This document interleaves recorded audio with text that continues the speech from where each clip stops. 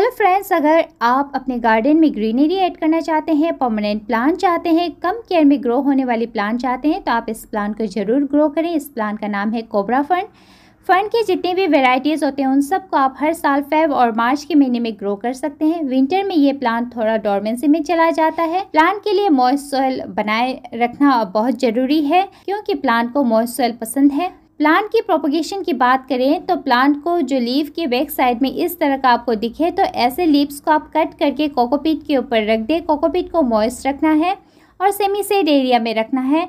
With in two months के अंदर आप देखेंगे इसमें बेबी प्लांट निकल कर आते हुए इस तरह से आप प्रोपोगेट कर सकते हैं। प्लांट के ऊपर डिटेल वीडियो है चैनल पर प्लीज़ जाकर देखिए। सेम टिप्स को फॉलो करके ग्रो करें। प्लांट रिलेटेड टिप्स के लिए प्लीज़ चैनल को सब्सक्राइब कर लें। बाय